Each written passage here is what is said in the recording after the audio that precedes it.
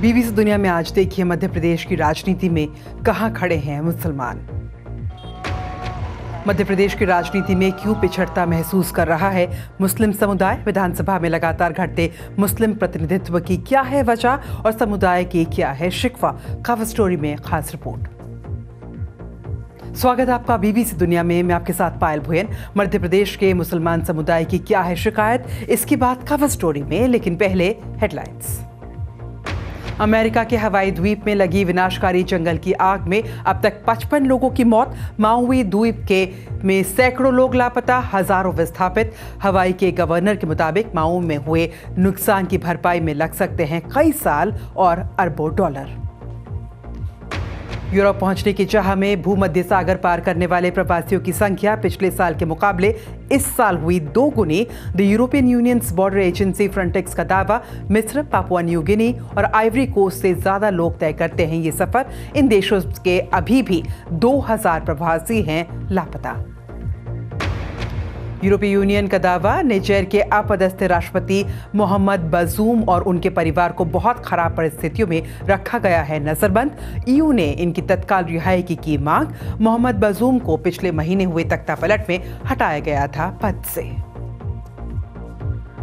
इनमें से कुछ अहम खबरों की चर्चा आज बीबीसी दुनिया में।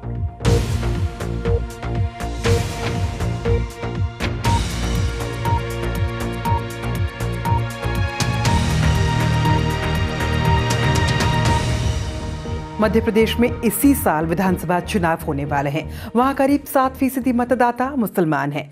क्या है राज्य की राजनीति में मुसलमानों की मौजूदा स्थिति? यही जानने की कोशिश करेंगे आज खबर स्टोरी में।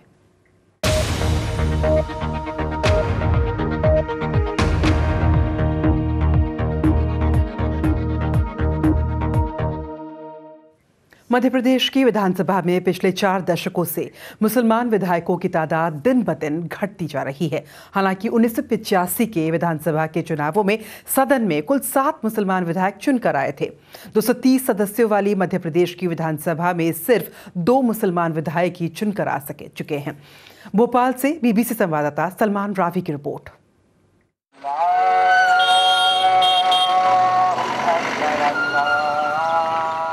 नवाबों और बेगमों की रियासत रह चुके भोपाल शहर में मुसलमानों की अच्छी खासी आबादी है।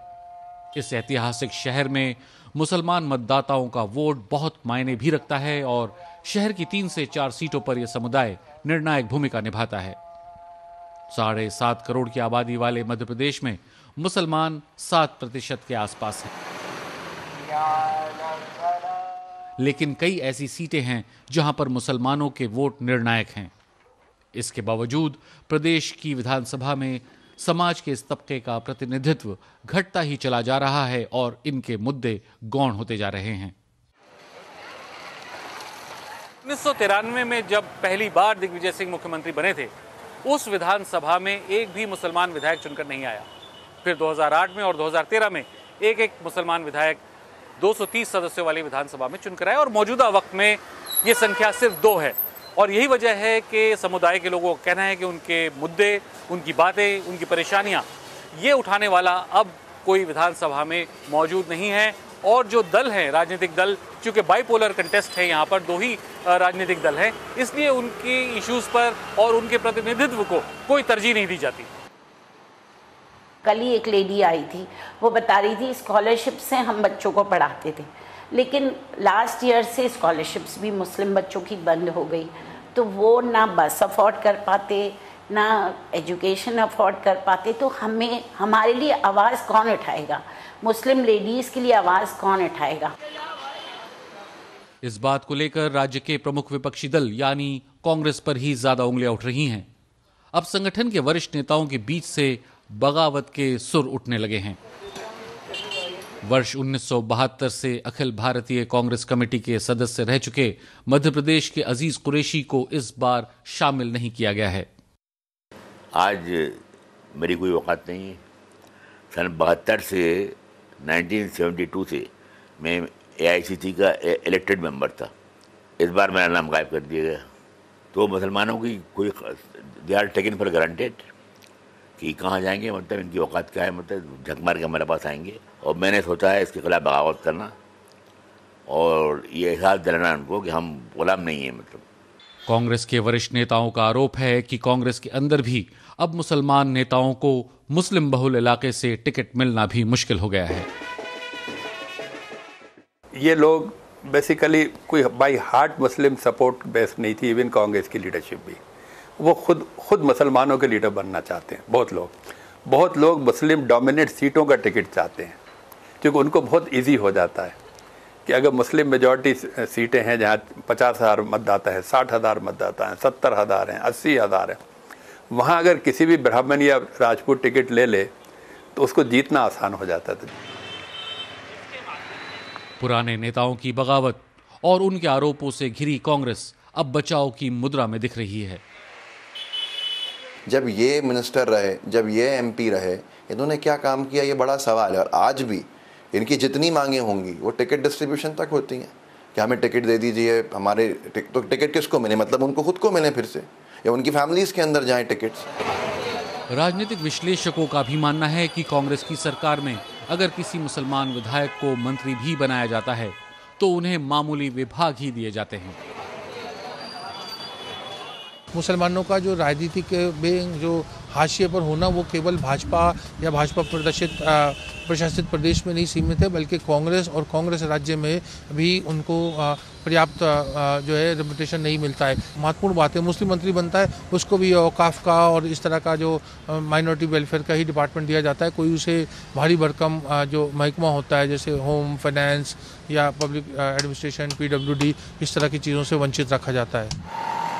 इस चुनावी माहौल में भारतीय जनता पार्टी भी कांग्रेस में चल रही बगावत का लाभ लेने की हर कोशिश कर रही है। इसकी शुरुआत उसने नगरीय निकाय चुनाव से कर दी है। कांग्रेस ने इसको प्रचारित करके भय दिखाकर कहीं पर या अपने पक्ष को इस प्रकार रख के इनका इलेक्टोरल एक्सप्लॉयटेशन कांग्रेस ने किया। इलेक्टोरल एक्सप्लॉयटेशन में इसलिए कहूँगा कि इन्होंने कभी फ्रंट लाइन लीडरशिप कांग्रेस ने कभी भी मुसलमानों को नहीं दी। मध्य प्रदेश को यदि आप उठाकर देखेंगे तो बड़ी संख्या में मध्य प्रदेश में ठाकुरों की और सवर्ण वर्णों की एक कब्जा जैसा कह सकते हैं कांग्रेस पे रहा। तो हमने करीब 400 टिकट आप मान के चलिए दिए थे पार्षदों के। उसमें से लगभग 100 जीत कर आए मुसलमान। ये 100 400 टिकट हमने मुस्लिम बस्तियों में दिए जिन्होंने कई हिंदू उम्मीदवारों को हरा कर आए हैं ये। और 100 है इनकी संख्या 100 पार्षद। तो आप मानकर चलिए हमारे लिए उत्साहजनक है कि हम बिना तुष्टिकरण के संतुष्टिकरण कैसे कर सकते हैं। 230 सदस्यों वाली मध्य प्रदेश की मौजूदा विधानसभा में सिर्फ़ दो मुसलमान विधायक चुनकर आए हैं। इनमें से एक हैं आरिफ मसूद जिन्होंने भारतीय जनता पार्टी के दावों पर पलटवार किया। बीजेपी ने मुसलमानों को वहाँ टिकट दिया जहाँ मुस्लिम पॉपुलेशन अच्छी खासी थी। और वहाँ पर कांग्रेस ने मुस्लिम्स को ना देकर एक हिंदू कैंडिडेट को सामने लाए। तो बीजेपी ने उसका भरपूर फ़ायदा उठाया। तो ज़ाहिर है कि मुस्लिम वोट को अपनी नुमाइंदगी जाती हुई दिखी तो उन्होंने वोट शिफ्ट कर दिया। उसमें आप बीजेपी की जीत नहीं मानेंगे। बहरहाल बीजेपी ने रिप्रेजेंटेशन अगर देना होता तो अभी देना, नगर नगर निगम छोड़ें, अभी विधानसभा में बताएँ कहाँ दे रहे हैं टिकट, कितने टिकट दे रहे हैं। वर्ष 2011 में हुई जनगणना के हिसाब से मध्य प्रदेश की साढ़े सात करोड़ की आबादी में मुसलमानों की जनसंख्या अब 38 लाख से भी ज़्यादा बताई जाती है। विधानसभा की 25 ऐसी सीटें हैं जहाँ मुसलमानों की बड़ी आबादी है और उनका मत उम्मीदवार की जीत और हार को प्रभावित कर सकता है। आरोप ये भी लगाए जा रहे हैं कि वर्ष 2002 में प्रदेश में कांग्रेस के ही शासनकाल में हुए परिसीमन में कई सीटों को इस तरह पुनर्गठित किया गया है जिसकी वजह से मुसलमानों की आबादी का भी बंटवारा हो गया और समुदाय के वोटों का महत्व कम होता चला गया। आज ये खुद को प्रदेश की राजनीति में हाशिए पर पा रहे हैं। खबर अमेरिका के हवाई द्वीप से। हवाई में माओवी द्वीप के अधिकारियों का कहना है कि जंगल में लगी विनाशकारी आग से हुए नुकसान की भरपाई में कई साल और अरबों डॉलर लगेंगे। आग लगने की वजह से कम से कम 55 लोग मारे जा चुके हैं और लगभग एक हज़ार से ज़्यादा लोग लापता हैं। देखिए बीबीसी संवाददाता नोमिया इकबाल की रिपोर्ट। हवाई द्वीप के ज़्यादातर हिस्से अब तबाह हो चुके हैं। ये पायलट अपनी आँखों पर विश्वास नहीं कर पा रहे। ओ माय गॉड बंदरगाह को देखो ये बगदाद की तरह नज़र आ रहा है। लाहेना का ऐतिहासिक शहर लगभग खत्म हो चुका है। मंगलवार को आग की शुरुआत हुई तूफानी हवाओं ने इसकी तीव्रता को और बढ़ा दिया और ये फैलती चली गई। व्यस्त सड़कों पर खड़ी कारों को अपनी जद में ले लिया। और ऐतिहासिक इमारतों की जगह अब मलबे के ढेर से निकलते धुएँ हैं। शहर में बचे किसी भी शख्स के लिए संदेश स्पष्ट है। बाहर निकलो। अगर कोई अभी भी यहाँ है आग फ्रंट स्ट्रीट तक पहुँच गई है जाने का समय हो गया है। पिछले महीने और कल की सैटेलाइट तस्वीरें तबाही की कहानी बयां करती हैं। ये कुछ ऐसा है जैसा आप युद्ध क्षेत्र में देखते हैं। जब आग का तूफ़ान आया मैं डॉक से बाहर निकलने वाला आखिरी व्यक्ति था। मैं बीच की ओर भागा। मैं दक्षिण की ओर भागा। रास्ते में मैं जिसकी भी मदद कर सकता था उसकी मदद की। आपको पता होना चाहिए कि आप क्या नहीं कर सकते। अभी भी पानी में और समुद्र में शव तैरते हुए मिलते हैं। हम कल रात से लोगों को बाहर निकाल रहे हैं और मुझे लगता है कि हमें जिस तरह की सहायता की ज़रूरत है वो हम तक पहुँच नहीं पा रही है। तीन बजे हमें फ़ोन आया बाहर निकलो। वो एक पड़ोसी की आवाज़ थी और आसमान लाल था। इसलिए मैंने अपने तीनों बच्चों को पकड़ लिया और मेरे एक दोस्त का बच्चा भी हमारे साथ रह रहा था। चारों बच्चों को मैंने कार में डाला। पुलिस अधिकारी घर घर जाकर लोगों को सुरक्षित स्थानों पर ले जा रहे थे और ये वास्तव में डरावना था। राष्ट्रपति का कहना है कि मदद आ रही है। We have just approved a major disaster declaration of, for Hawaii, which will get aid into the hands of the people desperate and desperately needing help now. They've lost, uh, anyone who's lost a loved one whose home has been damaged or destroyed is going to get help immediately. अमेरिकी सेना अब सक्रिय हो गई है और द्वीप पर लगी आग पर काबू पाने की कोशिश कर रही है एक राज्य जिसे प्रशांत महासागर का स्वर्ग कहा जाता था अब वो स्वर्ग तबाह हो गया है।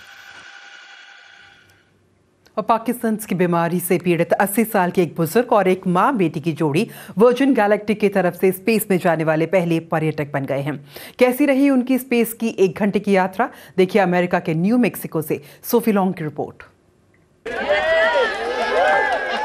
सपने को पूरा करने की ओर बढ़ते आखिरी कदम। जॉन गुडविन किशा शहाफ और एना मायर्स की माँ बेटी जोड़ी यूनिटी स्पेसशिप की तरफ़ जा रही हैं। स्थानीय समय अनुसार साढ़े आठ बजे वो रवाना हुए। Two, one, release, release, release. यही वो चीज़ है जिसकी बात हो रही है। स्पेसशिप यूनिटी धरती से 50 मील की दूरी पर अपनी दूरतम बिंदु पहुँचा John, to Keisha, to Anna on becoming astronauts today, and a special congratulations to our Unity. तीन मिनट तक इन लोगों को वैसी वेटलेसनेस महसूस हुई और उन्होंने पृथ्वी का ऐसा नज़ारा देखा जो हमारे एस्ट्रोनॉट्स को ही महसूस हो पाती है आप चीज़ों से उतने ज़्यादा जुड़े होते हैं जितनी आपने उम्मीद भी नहीं की होती जैसे एक टीम का हिस्सा महसूस करना एक शिप का हिस्सा होना एक ब्रह्मांड का हिस्सा होना ये बेहतरीन था Incredible. We welcome our crew back as they come in for landing. और जैसे ही स्पेसशिप यूनिटी न्यू मैक्सिको के रेगिस्तान में उतरा लोगों ने राहत ली स्पेस टूरिज़्म के क्षेत्र में ये एक मील का पत्थर है खासकर जो इसका खर्च उठा सकते हैं फ़िलहाल इस यात्रा के टिकट की कीमत चार लाख डॉलर यानी करीब तीन करोड़ तीस लाख रुपए हैं गिलगित बल्तिस्तान के हुंजा ज़िले की गणेश घाटी? प्राचीन सिल्क रूट पर बसे पुरानी बस्तियों में से एक है। साल 2002 में यूनेस्को ने इसे एक हेरिटेज साइट यानी विरासत स्थल घोषित किया था। इस घाटी के नाम से जुड़े कई मिथकों में से एक ये भी है कि ये हिंदू भगवान गणेश के नाम पर रखा गया है और कुछ इतिहासकारों का मानना है कि ये घाटी गुप्त साम्राज्य का हिस्सा रही है। देखिए पाकिस्तान से। बीबीसी संवाददाता जियाउद्दीन शाह की रिपोर्ट। अंधेरी, पथरीली सड़कें और पत्थरों से बनी संरचनाएँ। गणेश घाटी, शानदार और विशाल काराकोरम पर्वतमाला से घिरी हुई है। गणेश किला नाम का यह प्राचीन शहर एक हज़ार सालों से भी अधिक पुराना है। ये एक किलाबंद गाँव है। अंग्रेज़ों के आने से कबल ये गिलगित बल्तिस्तान का रीजन छोटे छोटे आज़ाद स्टेट्स में मुनकसिम था। इसका बैक साइड पीछे दरिया की तरफ़ का जो हिस्सा था बिल्कुल 90 डिग्रीज पे खड़े दीवार की तरह कच्चा क्लिफ था। और किसी के लिए वहाँ से अंदर दाखिल होना मुमकिन नहीं था, यानी कुदरती तौर पे महफूज था। और सामने से उन्होंने ऊँची फसील बनाई। फसील के साथ चौदह वाच टावर तामीर किए। ये वाच टावर बंकर का काम देते थे, मोर्चे का काम देते थे। गाँव के नाम को लेकर कई मिथक हैं। व्यापक रूप से माना जाता है कि गणेश शब्द स्थानीय बुरुशास की भाषा से लिया गया है। और इसका मतलब है सोना या चौराहे पर स्थित एक जगह। हालाँकि विशेषज्ञों का मानना है कि इस बात को पूरी तरह से खारिज भी नहीं किया जा सकता कि इस गाँव का नाम हिंदू भगवान गणेश के नाम पर रखा गया होगा। इस गाँव का स्थापत्य खास है, लेकिन समय के साथ आए बाढ़, नए निर्माण, उदासीनता और समय के साथ हुई टूट फूट ने महत्वपूर्ण हिस्सों को नष्ट कर दिया है। गिलगित बल्तिस्तान में गणेश यात्रियों के लिए मुख्य आकर्षणों में से एक है। टूरिज़्म जो जो बढ़ गया तो हमारे इलाके में होटलों के इजाफा करने के चक्कर में और कारोबार के चक्कर में बग़ैर किसी प्लान के बग़ैर किसी मनसूबबंदी के लोग अपनी मर्ज़ी से कंस्ट्रक्शन करने लगे। कुछ एक्टिविस्ट निर्माण पर रोक लगाने की मांग कर रहे हैं। गणेश तक पर्यटकों की पहुँच काफ़ी आसान है। क्योंकि यह स्थित है काराकोरम हाईवे पर, जो पाकिस्तान को चीन से जोड़ता है। फीडबैक देने के लिए आप मुझे ट्वीट कर सकते हैं एट पायल भुयन पर।